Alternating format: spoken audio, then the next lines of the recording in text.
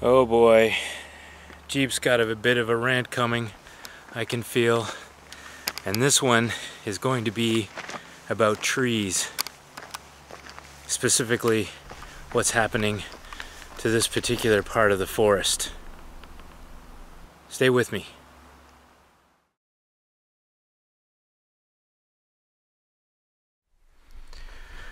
Oh boy, here we go. Whenever I see a sign like that one, I cringe a little bit at the thought of what I'm going to find when I get down there. I'm taking a little break at this section of the Crown land. I want to show you a selective logging operation. When I mean selective, they're taking the larger hardwood and leaving the smaller trees. And if you've noticed this hike that I've been on, the trees have been pretty small and they've also been very dense. And this is why. This entire area has been designated for logging. Now this isn't the first time that I've run across a logging operation like this and I'm fairly certain it won't be the last. The last time I looked into this I found out that most of this wood that's been harvested here is going to end up as somebody's firewood. Now I say this is destined to become firewood instead of dimensional lumber used for building simply because they get more money if they sell it as firewood. I guess high fuel prices, high oil prices have increased the demand for firewood and drove the price up, making this operation more profitable if they sell it as firewood. Now there is a lot of wasted wood which eventually will just rot and become part of the forest. I think in this spot here, I'd probably be able to make campfires for the rest of my life with what they've left behind. But that's not really the point. Now, as you know from a few videos back, I've been doing a little research on trees.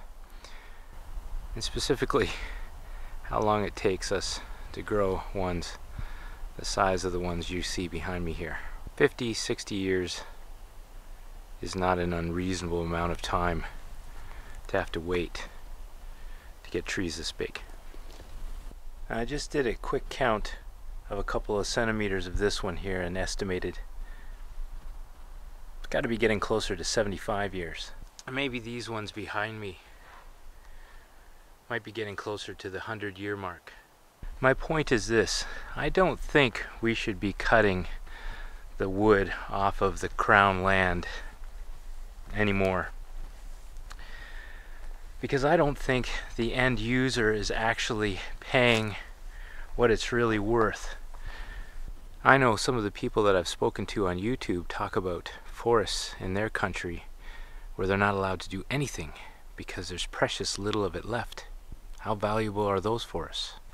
I mean, if we were actually growing these trees behind me, for firewood, how long would it take us before we had a crop that we could cut and sell? I think this wood behind me would be much, much more valuable. Some of the people I've talked to about this will say, well, it's jobs. It's good for the economy. But a modern forestry operation like this one will probably employ two or three people out here running the machinery needed to cut this firewood. It's not a lot of jobs. I think there's something much more valuable that we're losing.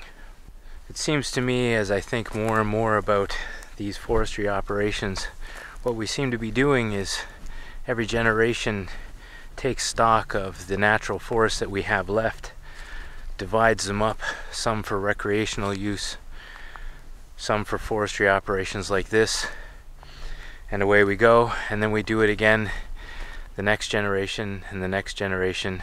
And what we seem to be doing is taking one piece of cake and dividing it up so everybody has a piece.